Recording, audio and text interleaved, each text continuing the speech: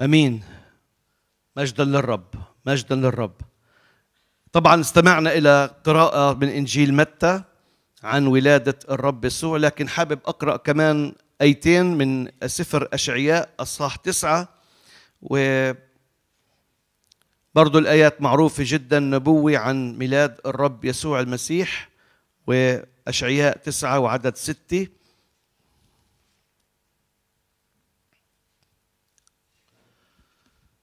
تعالوا نقراها مع بعض. آيات معروفة للجميع. لأنه يولد لنا ولد ونعطى ابنا وتكون الرياسة على كتفه ويدعى اسمه عجيبا مشيرا إلها قديرا أبا أبديا رئيس السلام. لنمو رياسته وللسلام لا نهاية على كرسي داود وعلى مملكته ليثبتها ويعضدها بالحق والبر من الآن وإلى الأبد غيرة رب الجنود تصنع هذا. أمين. مبارك اسم الرب يسوع المسيح له كل المجد. وأيضا قال إنجيل في إنجيل متى فستلد ابنا وتدعو اسمه يسوع لأنه يخلص شعبه من خطاياهم. هذا الشهر اللي بتابع الخدمات عبر المواقع كثير رسائل ميلادية يعني أذيعت وأعلنت وأنا ما بدي أعيد إيش أعلن. بتقدر تسمع لخدمات كثيرة عن المجوس عن الرعاة عن سمعان الشيخ. فخدمة المجمع يعني كانت أثرت وهذه واحدة منها مع الأخت دعد نشكر رب لأجلها ولأجل الخدمات. صليت يا رب إيش بدك تكلمنا؟ إيش بدك تقدم لنا شيء ولو شيء بسيط لكن توجه قلوبنا ككنيسة في هذه الأيام. فالرب حط قدامي هذه الكلمات أو هذه الأفكار حابب أشارككم فيها في هذا الصباح. كلمة يدعى اسمه يسوع وكلمة يسوع بالأصل العبري يشوع. يشوع يعني يخلص ومعنى كلمة يسوع يخلص. وتدعو اسمه يسوع أو يشوع لأنه يخلص شعبه من خطاياهم. يسوع اجى في وقت محدد وقت معين ولما جاء ملء الزمان في الوقت المحدد من عند الرب.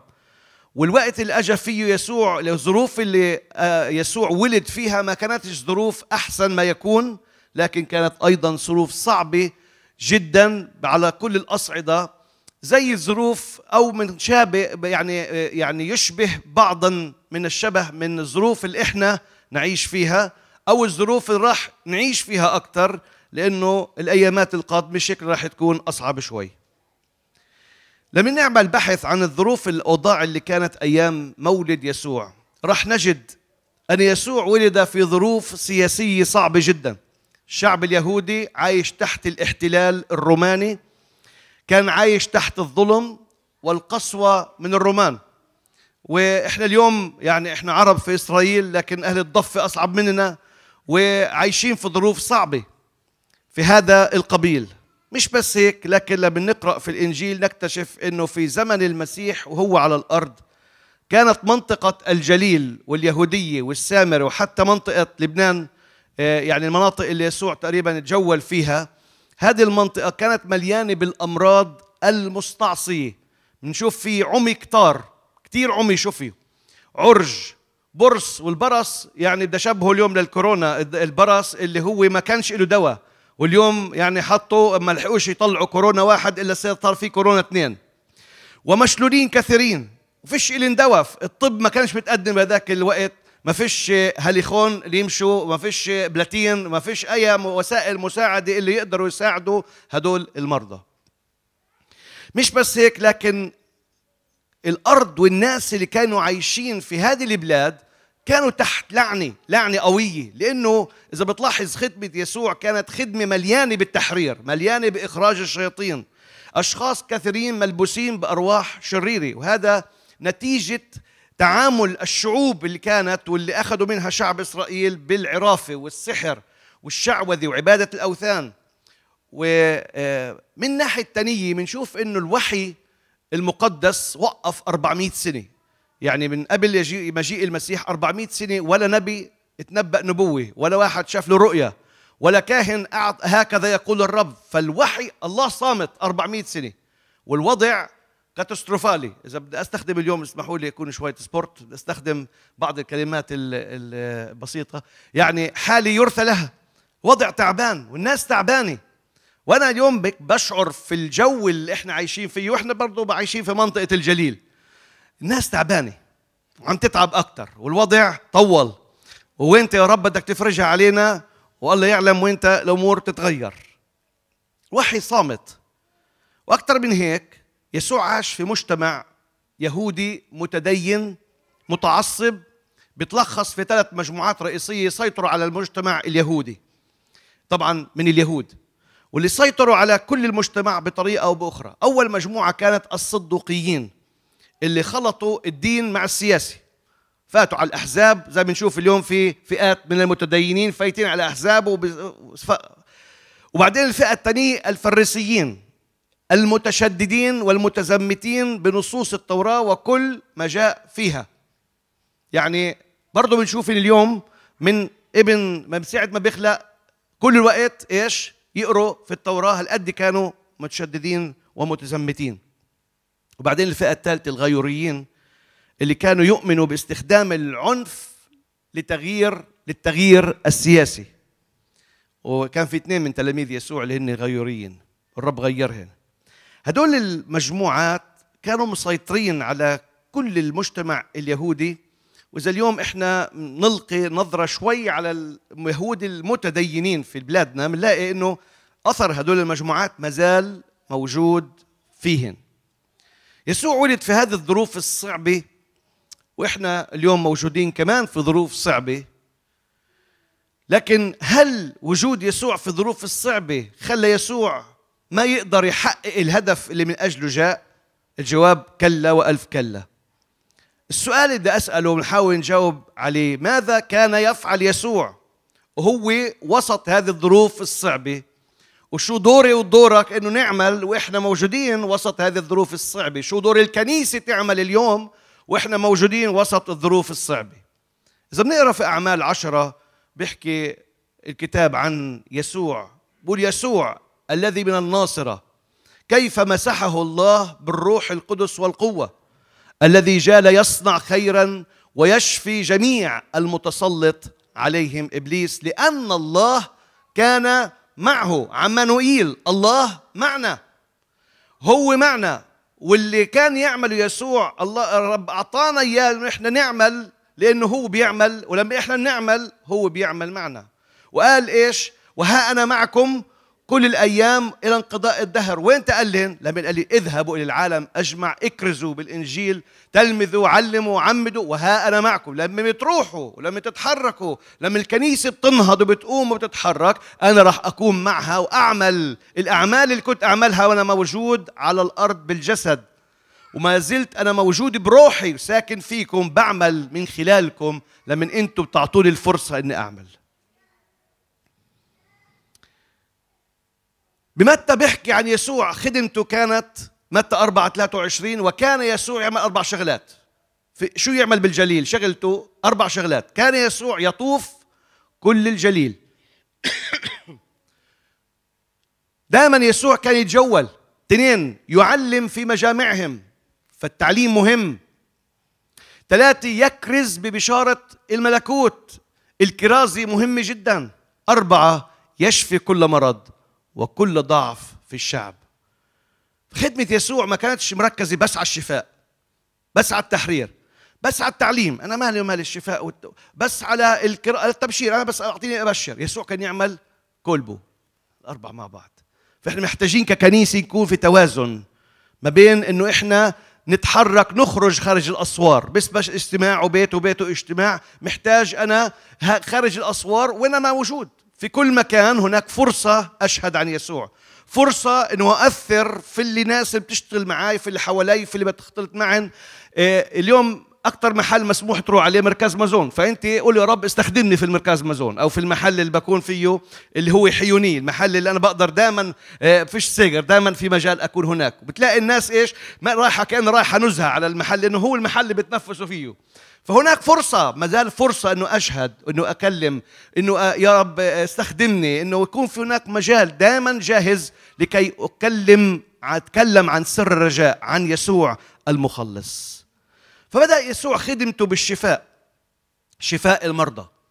يسوع شفى المولود أعمى شفى عمي كثيرين فتح عيون الكثيرين شفى المشلولين والعرج والمقعدين.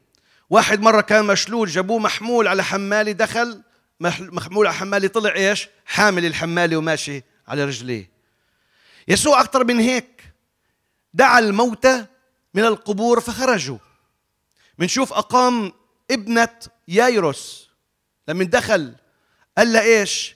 يا صبية قومي. ثلاث كلمات يا صبية قومي.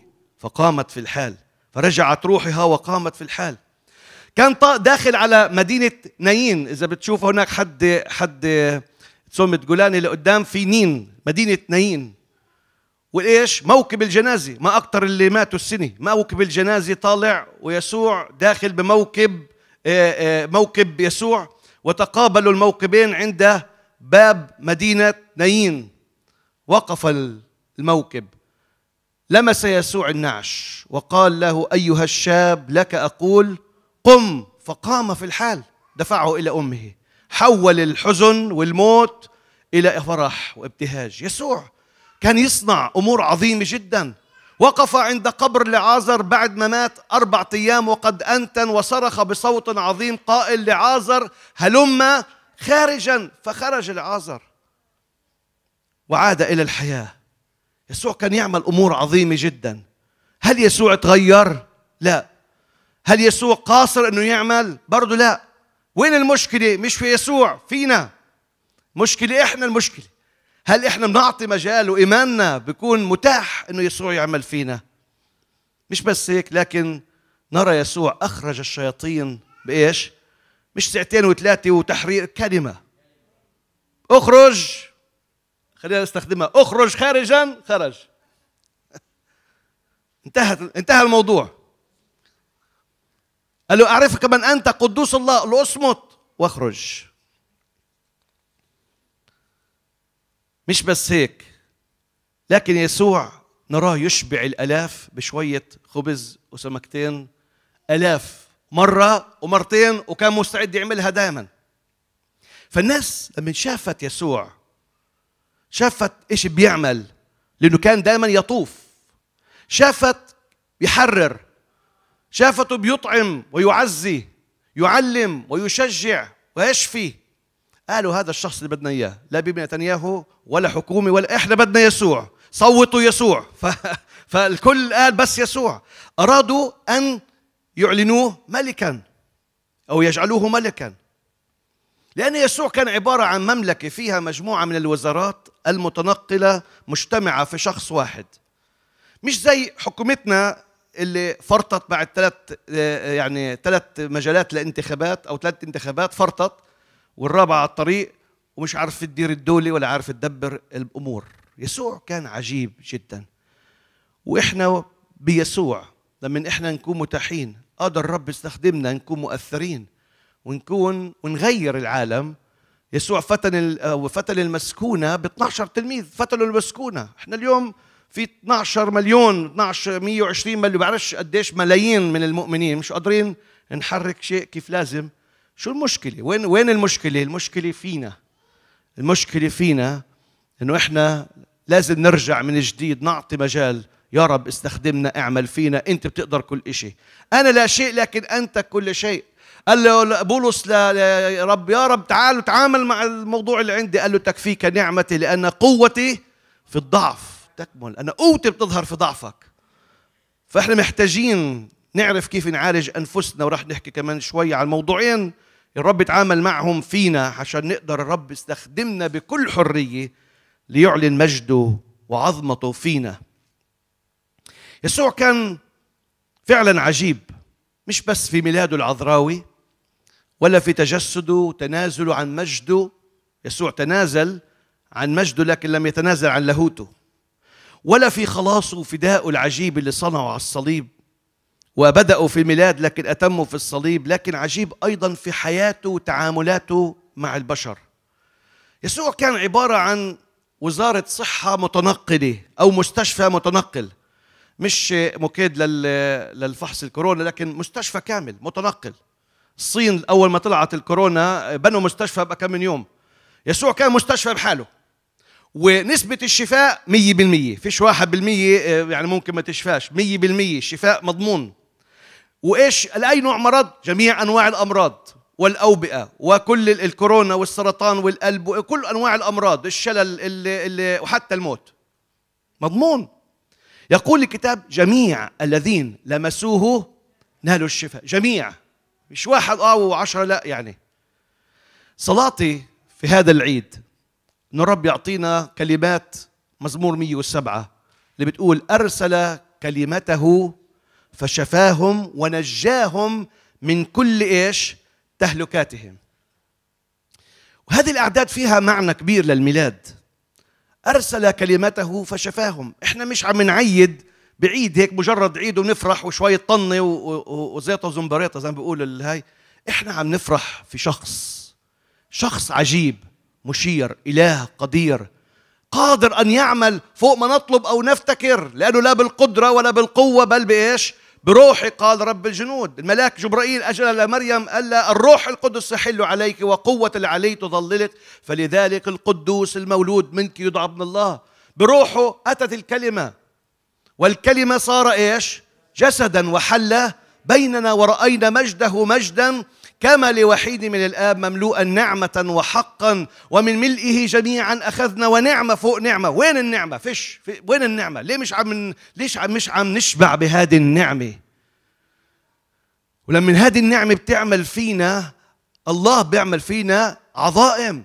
ليش الكنيسة الأولى كان آيات ومعجزات وعمل الله واضح ونفوس والرب يضم إلى الكنيسة كل يوم الذين يخلصون؟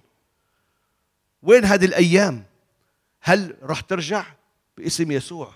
بيت مجد البيت الأخير أعظم مش مجد البيت الأول. أنا إيمان الرب راح يجيب انتعاش قبل ما يجي.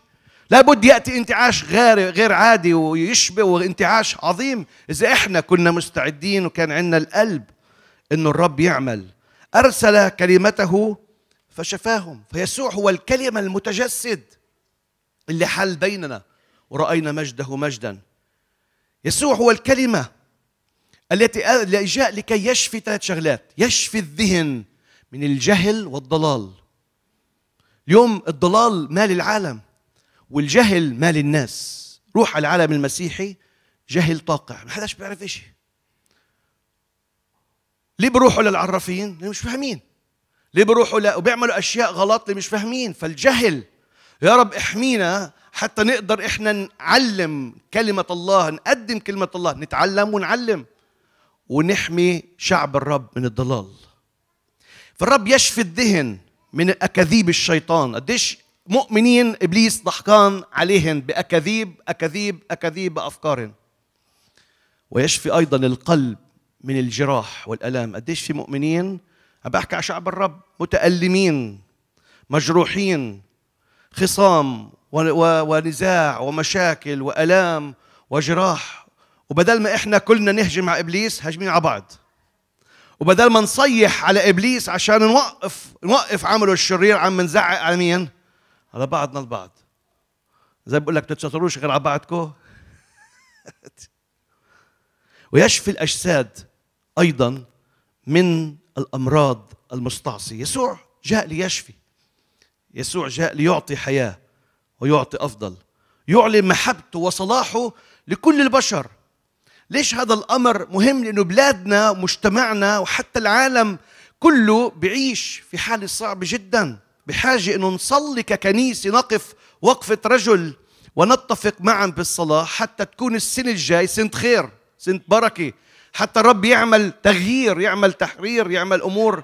يشفي الذهن يشفي القلب يشفي الجسد. لأن الذهن مريض والقلب مريض والجسد مريض. والأمل هو إنه يسوع يرسل كلمته من جديد. أمين؟ نقول له هذه السنة هذا الميلاد يا رب أرسل كلمتك من جديد. بدناش نعيد بس هيك عيد لكن بدنا والكلمة صار جسدا لكن أنت قادر. أرسل كلمته فشفاهم. قادر تبعت كلمتك من جديد وتجيب شفاء على العالم. تجيب شفاء على على بلادنا وعلى كنايسنا. تشفي الأجساد وتشفي النفوس وتشفي القلوب. فيسوع كان عبارة عن وزارة صحة متنقلة. مش بس هيك يسوع كان عبارة عن وزارة آه، تموين متحركة. يعني شوية أكل أعطيه بيعمل لك إيش؟ بشبع ألاف. آه، مش عارف أي مطعم إذا بتجيب له شوية أكل بيطلع لك ما حداش بيعرف يطلع إيش عن الشكل مثل ما طلع يسوع. فيطعم يطعم. مش بس هيك لكنه كان معلم وغير بتعليمه مفاهيم الناس. فهو بيقدر يقول وزارة التربية والتعليم. اليوم يعني بتعاني وزارة التربية والتعليم. ليش؟ لأنه المدارس مسكرة والتعليم على بعد مش ضابط والناس والأولاد مش عارفين يركزوا. فيعني واللي والطلاب ال 11 و12 يعني أكلوها سخنة. ليش؟ لأنه راحت سنة عليهم. وحتى الصغار يعني يعني الكل تضرر. فيسوع كان يعلم. كان يعلم.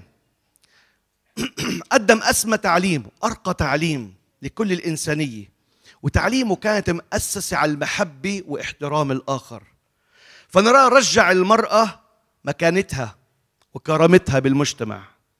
مش زي ما يحدث في هذه الأيام. نرى المرأة, المرأة تقتل بدم بارد. على أبسط ما يكون. عشان إيش؟ عشان هي مرأة. يسوع عمل العكس. رجع للمرأة مكانتها وكرامتها. اليوم شو بنشوف المجتمع؟ عم بنزل في المرأة. لكن يسوع رفع مكانة المرأة. رجع للإنسان البسيط مكانته كرامته قيمته. صحح المفاهيم الخطأ والمفاهيم القديمة الغلط. مثلا مشكلة السبت. قال الرب خلق السبت من شأن الإنسان مش الإنسان من من شأن السبت. لحد اليوم اليهود المتدينين مش قادرين يفهموا هالمعضلة هاي. وبعدين إيش؟ عي... السبت خلق أو الإنسان خلق لأجل السبت. ماشيين بهذا بهذا المنوال. قدم المسيح أسمى التعليم. خصوصا في وعظة التطويبات. ركز على محبتنا لله وعلى محبة الله إلنا. ومحبتنا بعضنا لبعض قديش لازم تكون عظيمة ومهمة. مش بس هيك لكن اشتغل على تغيير أخلاق الناس. بنشوف الزنا صاروا قديسين. قال للمرأة الزاني إيش؟ اذهبي ولا تخطئي فيما بعد. حماها من الموت كانوا يرجموها. لكن يسوع أنقذها وغير حياتها. بنشوف غير اللصوص وما أكثرهم في هذه الأيامات. مش عارف إذا وأنت آخر مرة انسرقت بس الحرامية كتراني هاي الأيام.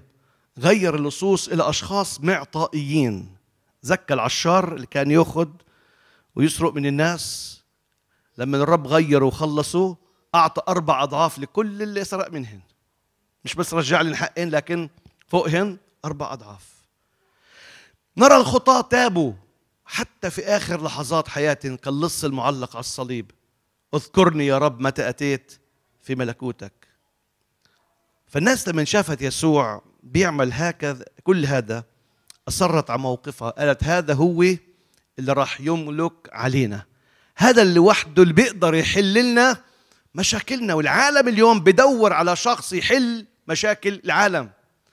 الم... ال... ال... الرؤساء أعلنوا فشلهم. الحكومات الممالك الدول.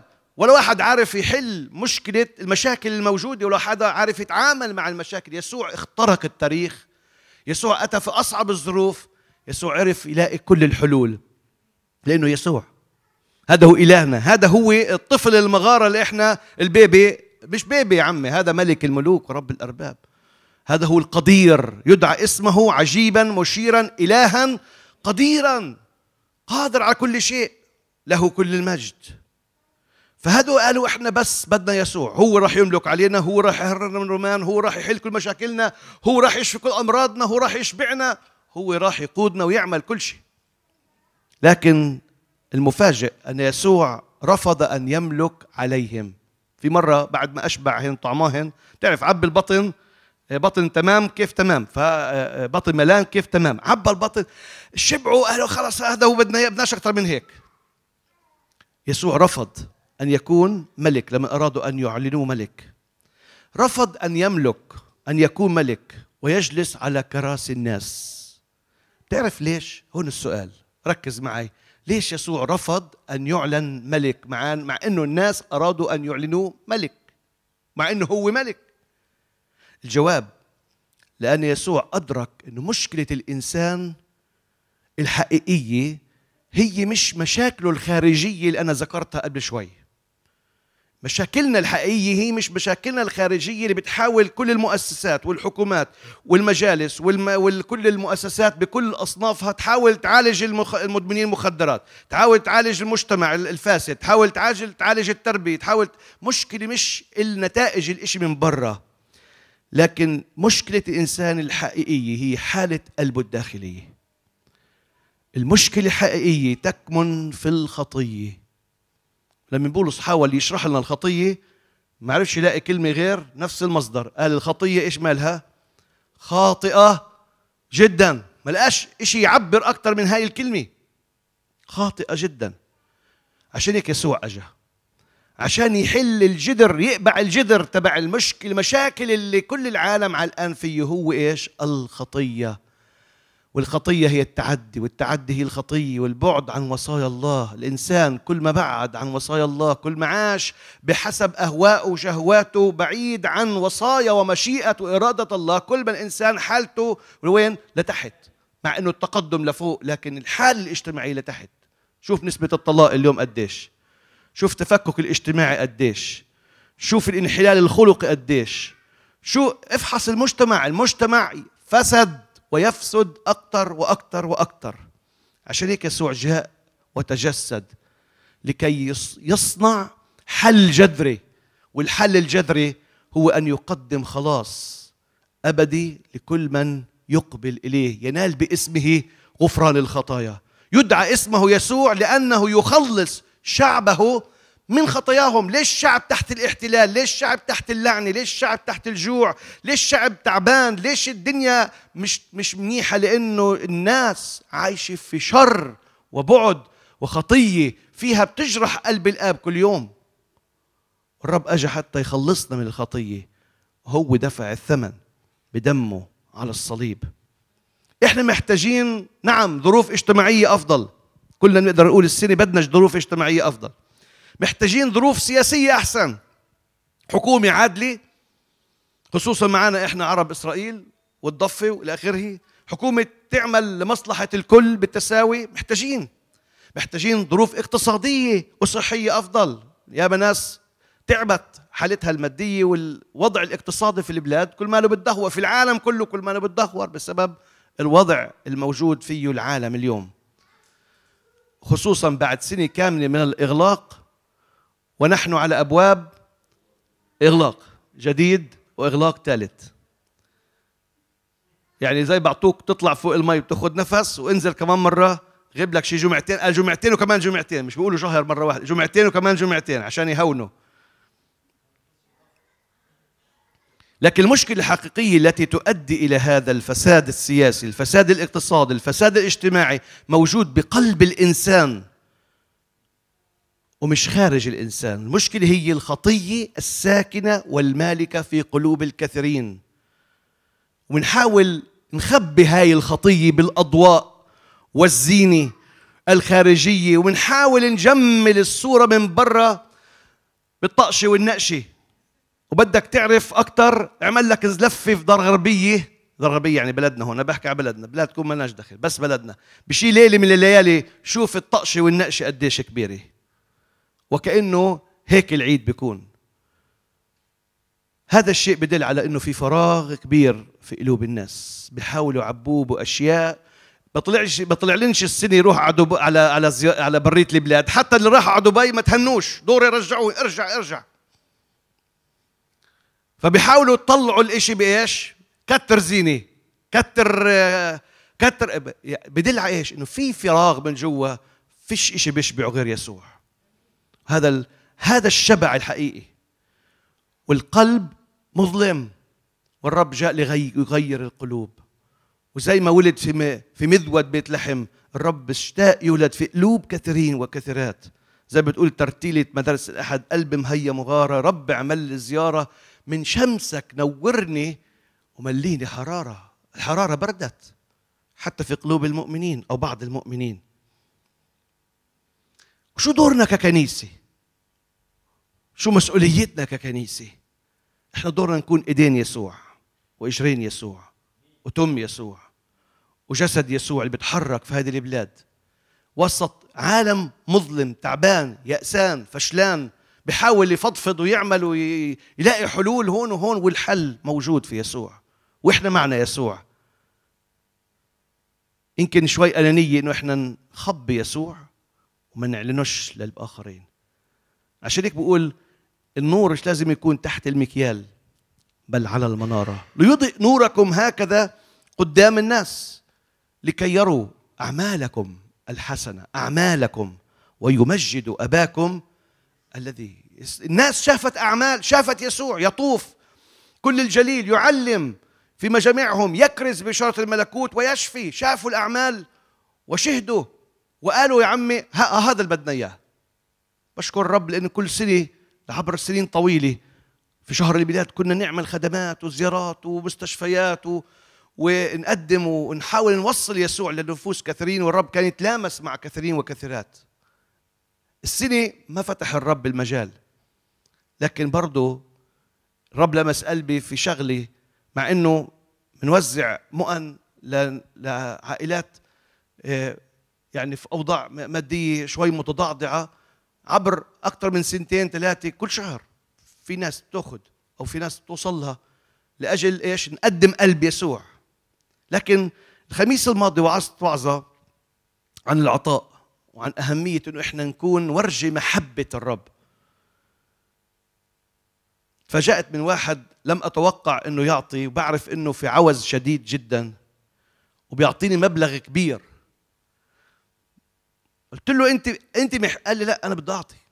أنا الرب لمس قلبي وأنا كنت أقرأ نفس الفقرة فذاك النهار.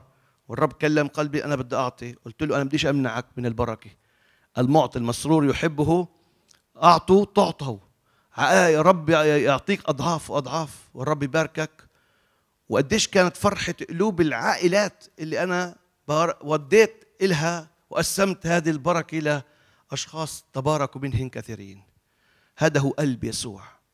حتى في أصعب الظروف الرب قادر إنه يبارك. إيليا كان في ظروف جوع وعطش وكذا قال له روح روح إلى أرملة صرفة صيدا.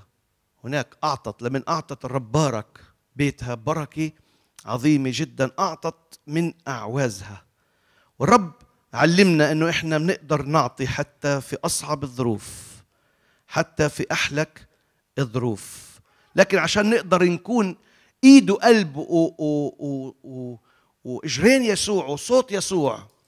الرب يحتاج يتعامل مع شغلتين في حياتنا. كمان كم دقيقة بختم. الرب يتعامل مع كبريائنا والرب يتعامل مع أنانيتنا. شو الفاكسين اللي بيعالج مشكلة الكبرياء فينا؟ المضاد اللي بيعالج الكبرياء هو التواضع. والمضاد اللي بيعالج المحب يعني عدم المحبة أو الأنانية اللي فينا هو المحبة. ويسوع عمل شغلتين. بقول أنا الكبير تواضعت أخلى نفسه آخذا صورة عبد. بقول في فيليبي صائرا في شبه الناس. وإذ وجد في الهيئة كإنسان وضع نفسه وأطاع حتى الموت. موت الصليب. ولما نفكر يولد ولد في أحقر محل ممكن يكون واحد بفكر فيه. زريبة بهايم يعني زي بقول أو مذوذ للبقر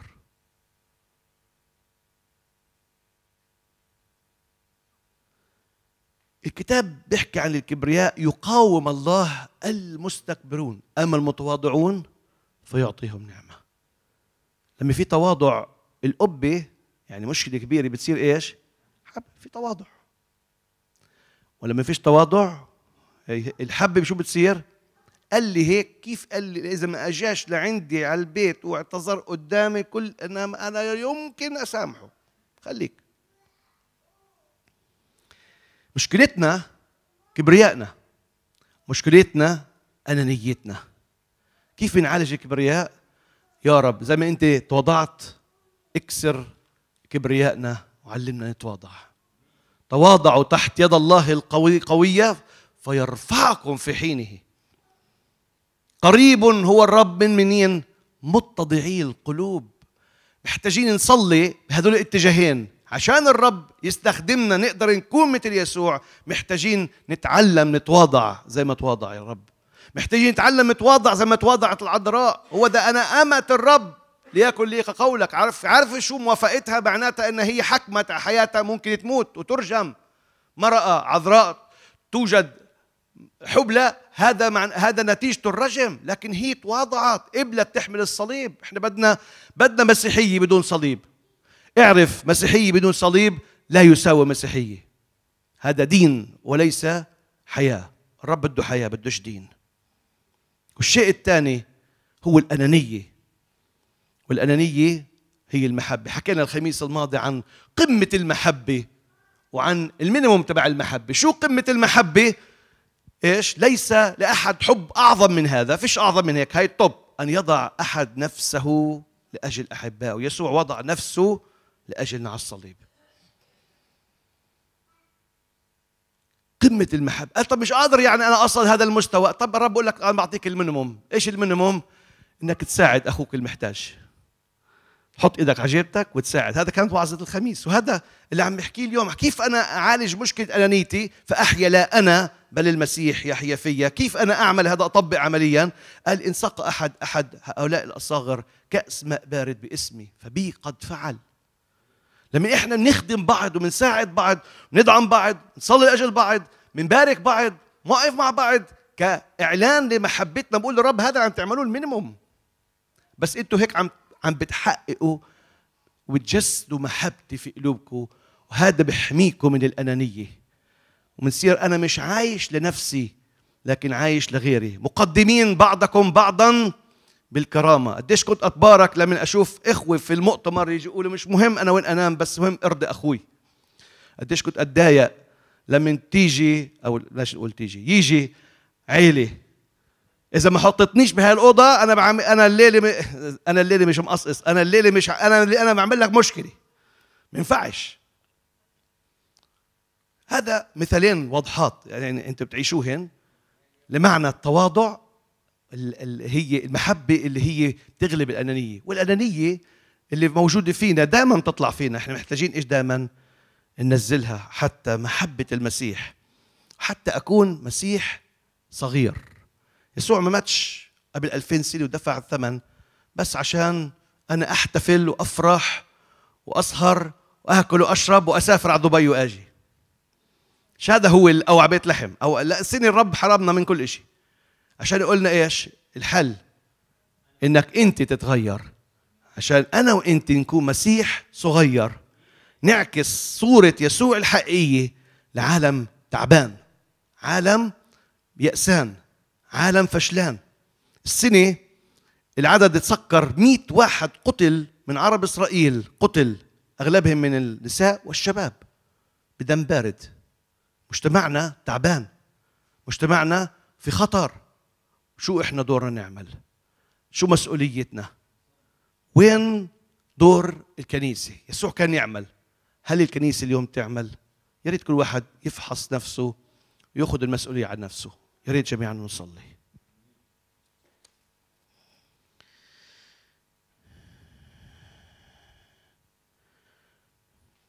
لحظات قبل ما نختم. نفحص قلوبنا ونفوسنا في ظل ميلاد المسيح الكلمة الذي صار جسدا وحل بيننا. يدعى اسمه يسوع لأنه يخلص. كم واحد عم بيخلص هذه الأيامات؟ لماذا يسوع لم لا يخلص؟ وين دوري ودورك؟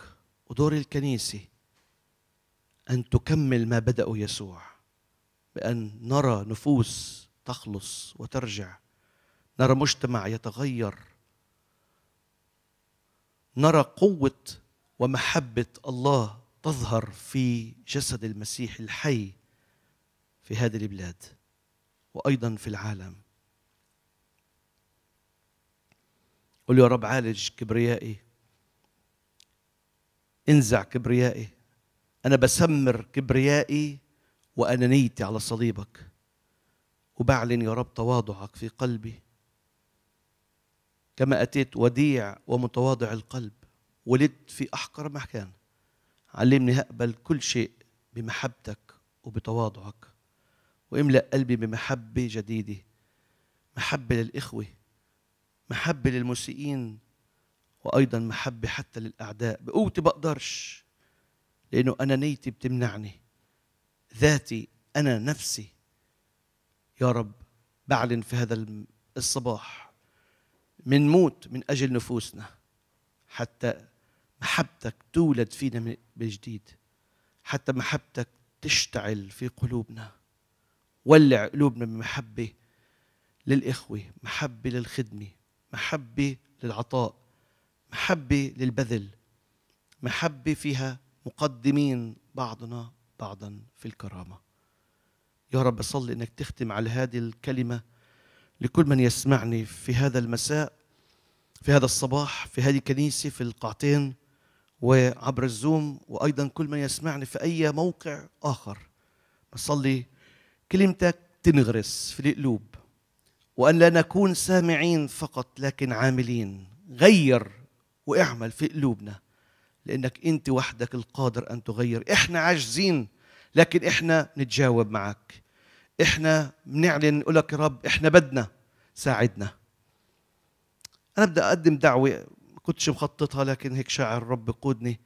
إذا أنت على قلبك إنك فعلا الرب يعمل في قلبك ويغيرك ويستخدمك ويغي يتعامل مع كبريائك وأنانيتك والرب يتعامل حتى تكون شخص مستخدم مستثمر في ملكوت الرب.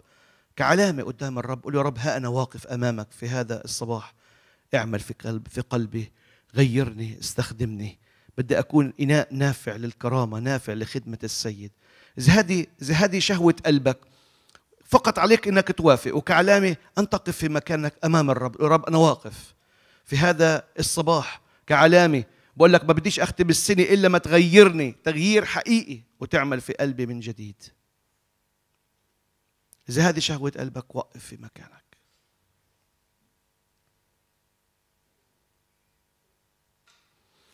يا أبانا السماوي أنا أصلي لأجل كل نفس وقفت. وأنا أقف معها يا رب. نقول لك يا رب محتاجين إنك تغيرنا. محتاجين يا رب إنك تعمل في قلوبنا. محتاجين يا رب يسوع نعمتك تيجي وتتعامل مع كل إرادة فينا. إحنا عاجزين يا رب بالكامل لكن نعمتك قادر أن تفتقدنا. نوافق يا رب ونتحد مع إخوتي وأخواتي في هذا الصباح وجايين بكل قلب صادق ونقول لك يا رب يسوع تعال اولد في قلوبنا من جديد. عامل مع كبريائنا بتواضعك. تعامل يا رب يسوع مع أنانيتنا بمحبتك. علمنا كيف نعيش في تواضع وفي محبة. يا رب مقدمين بعضنا بعضا في الكرامة. علمنا كيف يا رب يسوع نتعامل مع بعضنا البعض وكيف نكون شهادة حي لأنه بهذا يعرف العالم أنكم تلاميذي إن كان لكم حب بعضكم نحو بعض. أكرس يا رب كل صلاة رفعت كل إعلان كل عهد أعلن وأطلق من يا رب في هذا الصباح من كل أخ وأخت. وبنعلن يا رب نقول لك اختم على كل موقف قلبي في هذا الصباح. غير قلوبنا تعامل مع دوافعنا قدسها كرسها حتى نقدر نكون كنيسة عاملة حية. إيديك ورجليك وفمك وصوتك وقلبك يتحرك من خلال هذا الجسد الحي. استخدمنا وتمجد في وسطنا. اختم على كل قرار أعلن في هذا الصباح. ولاسمك أعطي كل المجد. لك كل الإكرام في اسم ربنا يسوع المسيح نصلي. آمين. قول مع بعض والآن نعمة ربنا يسوع المسيح محبة الله الآب وشركة الروح القدس تكون معنا وتدوم فينا أجمعين إلى أبد الآبدين. آمين وثم آمين. الرب يبارككم. سلام المسيح يكون معكم عيد ميلاد مجيد وكل عام وأنتم بخير. الرب يعطيكم نعمة وبركة حتى يتمجد اسمه في حياة كل واحد فيكم. والرب يكون معكم. آمين.